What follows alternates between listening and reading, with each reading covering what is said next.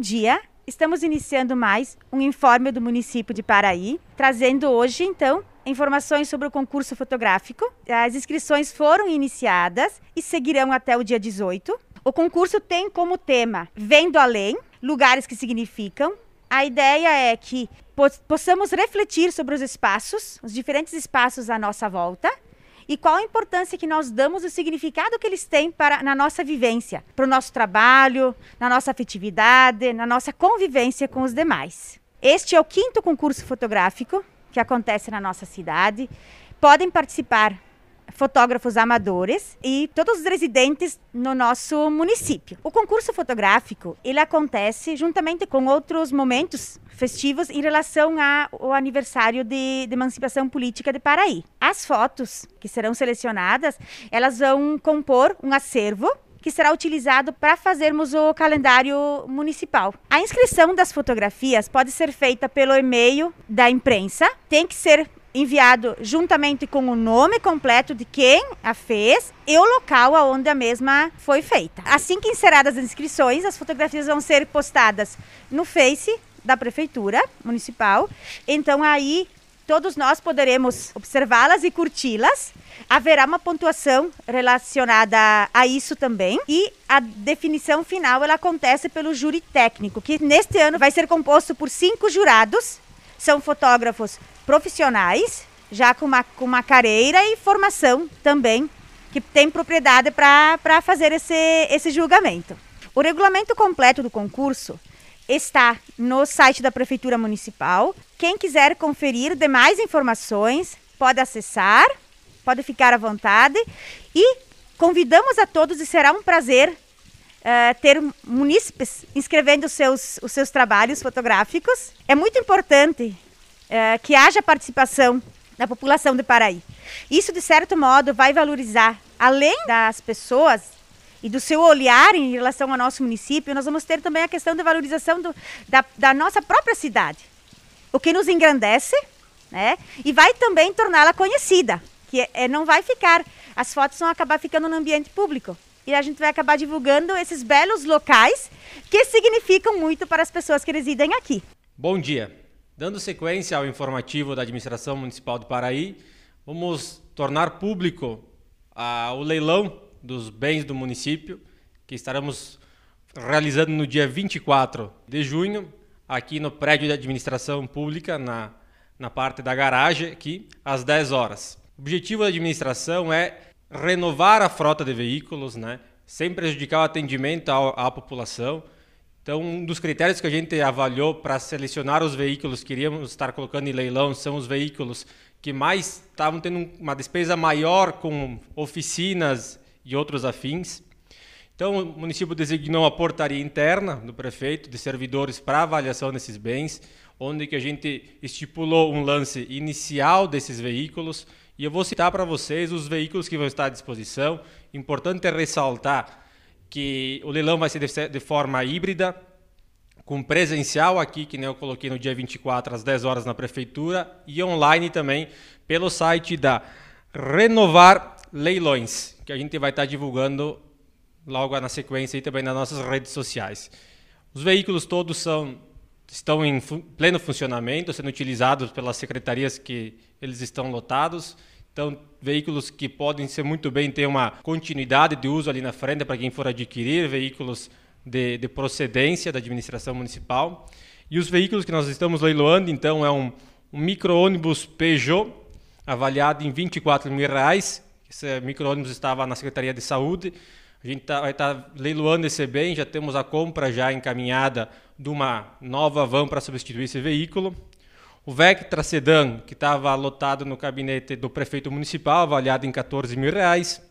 Um Voyage 2011, avaliado em 9.400, cara da Secretaria de Administração. Da Secretaria de Administração também vai estar sendo leiloado uma SPIN 2012, avaliada em 15.200 reais. Uma Paraty 2005, modelo 2006, avaliada em 6.800. Uma outra Paraty 2008, modelo 2009, avaliada em R$ 8.400. Um carregador Komatsu 320, avaliado em 100 mil reais. Uma retroescavadeira New Holland 2009, 56 mil reais. Microtrator, ano 2005, 6 mil reais. Também estaremos leilando uma escada de 7,25 metros, avaliada em 137,50 reais, e três tanques da antiga usina de asfalto do município, avaliado em 400 reais. O objetivo desse leilão, que nem eu colocaste primeiro, é que uma renovação da frota dos veículos. A gente pretende, com a ideia de menos veículos, tá ainda atendendo a população, então a gente vai estar tá renovando a frota. Esses valores que eu colocaste aqui são todos os valores iniciais da abertura do leilão e a gente tem uma, uma esperança assim que esses valores na hora da concorrência eles eles sejam elevados, que eles venham a ter uma concorrência e ganhar um valor maior esses bens e que nós vamos depois estar na sequência aí reestruturando o nosso a nossa parque de máquinas, comprar de veículos para atender bem a população. Então convido a todos que queiram participar, que demonstrarem interesse na aquisição desses bens Algo que me esqueci de, de relembrar primeiro, nos dias 22 e 23 que antecedem o leilão, os veículos estão a, estarão à disposição de quem queira vir olhar o estado deles no pátio localizado atrás do nosso centro administrativo, para que venham tirar alguma dúvida, queiram olhar o, o, estado do veículo antes de fazer alguma proposta. Então a gente deixa o nosso convite a todos que queiram participar mais uma vez e que seja muito produtivo para a gente estar tá juntando um bom valor para depois estar tá fazendo novas aquisições. Estamos aqui então trazendo uma boa notícia à comunidade paraiense, uh, respeitando todos os protocolos sanitários da Covid-19, depois de termos iniciado em agosto de 2020, na antiga gestão do prefeito Zanotto, a reforma e as melhorias do ginásio municipal Ângelo Brandalize.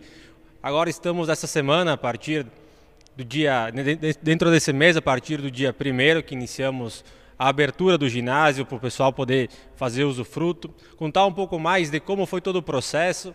Se iniciou lá em 2018 com a indicação da emenda parlamentar do, do deputado federal Giovanni Feltz, aqui que a gente deixa nosso agradecimento para indicar esse recurso para aí, no valor de 191 mil reais, e onde o município teve uma contrapartida de mais 67 mil reais para executar essa obra. Todo mundo sabe a relevância que tem o ginásio municipal de Paraí, a história que tem, a quantidade de competições que temos aqui no Paraí, de eventos e o quanto ele é utilizado pela comunidade. Então existia já um apelo antigo da comunidade, de quem praticava esportes, de quem vinha acompanhar nossos campeonatos, de quem vinha de fora de Paraí também, onde tivemos um cuidado em primeiramente realizar que as coisas que nos que deixasse para quem fosse utilizar a quadra esportiva de uma forma mais segura.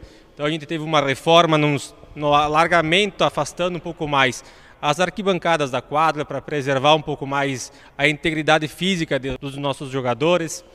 Também a gente teve um cuidado com a questão do corpo de bombeiros, que nós tínhamos um ginásio que todos conhecem já antigo, com limitações, onde nós não, não tínhamos até o momento as liberações do corpo de bombeiros. Então a gente, no primeiro momento a gente cuidou esse detalhe. Hoje a gente já está conseguindo ter o alvará dos bombeiros que libera funcionamento para eventos e para a prática de esportes no ginásio, que já era uma, uma preocupação nossa há um certo tempo. Tivemos também cuidando a parte dos banheiros, que tivesse acesso a cadeirantes, numa estrutura um pouco mais acolhedora quem fosse utilizar né, com toda a reformação, que nem vocês podem ver nas imagens que nós estamos divulgando. Outro cuidado que a gente também teve foi com a questão da uma pintura de uma forma mais neutra no ginásio, uma pintura mais leve. Né? A gente espera que todos gostem, que tenha uma, uma, um ambiente ficou muito mais aconchegante, eu diria. Então, as melhorias foram inúmeras, desde a parte da iluminação, que foi trocada por lâmpadas de LED, pensando na economia também da, de energia e também na qualidade dela, uma manutenção menor, menor também e dando uma luminosidade muito melhor a quem utiliza a quadra. Quem vir visitar o nosso ginásio vai ver nosso layout interno totalmente remodulado. A gente reformou os vestiários que já existiam, execução de um vestiário para os juízes que trabalham nos eventos. O bar, a gente acabou fazendo uma, uma área muito mais ventilada, com muito mais pensando na questão sanitária de quem vai estar ali trabalhando. Fizemos também uma área paralela ao bar para que fosse utilizado para quem fosse fazer algum evento, algum churrasco depois, da, depois do seu jogo de futebol que tivesse à disposição. Como vocês vão poder ver, a gente também disponibilizou agora cinco saídas de emergência, que nem eu falava antes da questão que o Corpo de Bombeiros exigia. Que deixamos também nosso agradecimento à Leckler do Brasil, às administradoras, a Suire, a Cláudia, a Andréia, que nos intermediaram junto à empresa a doação pra, das tintas da pintura do ginásio, interna e externamente. Então aqui o nosso muito obrigado a essa empresa que já em outras oportunidades vem colaborando nessa questão social da, do município. Quem queira disponibilizar, utilizar do ginásio, uh, pode vir agendar o seu horário com o nosso econômico, que é o Johnny Moser, que, tenha, que vai estar aqui aberto a partir das 19 horas e conversar com ele o horário. O valor da hora, a gente, nesse primeiro momento, a gente vai estar tá mantendo o mesmo valor de R$ reais para quem queira utilizar e agendando com ele vai ver a disponibilidade dentro do, da grade de horários que ele tem. Posso dizer o quanto é gratificante estar entregando essa obra à sociedade, que a gente possa logo aí na frente superar esse momento de instabilidade e voltar a ter, a utilizar, a realizar nossos campeonatos, nossos eventos, nos aglomerar novamente e torcer nas arquibancadas do ginásio municipal Ângelo Brandalize. Então, que, que a comunidade receba muito bem esta obra, que cuide dela, que zele por ela quem, vinha, quem vir a utilizar as estruturas aqui. Que, sem sombra de dúvida, quem ganha é a sua comunidade com essa obra entregue. Bom dia a todos, meu nome é Regiane Mesomo Bresolim, sou secretária da Agricultura e Meio Ambiente do município de Paraí. Na última semana tivemos aprovada a Lei Municipal de número 3.493, a qual incentiva e motiva a população a adotar canteiros públicos.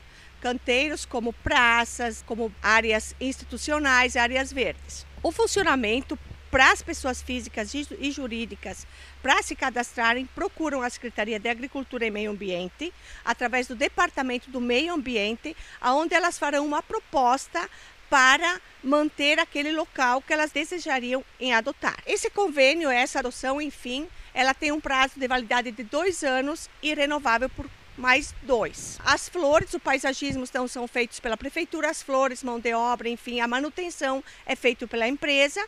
Em troca, a empresa colocará no canteiro que escolheu a propaganda, o nome da empresa, enfim. Então, isto motiva o município a que, que divulgue o nome das empresas por as pessoas que ali passarem e vai manter a cidade ainda mais bela. Eu faço um convite a todas as empresas, pessoas físicas que têm interesse em participar desse novo projeto do município, que participem, que nos procurem, que façam com que a cidade se torne ainda mais hospitaleira e ainda mais bela. Por hoje são essas informações. Na próxima informativa traremos novas informações a respeito do município e uma boa semana a todos.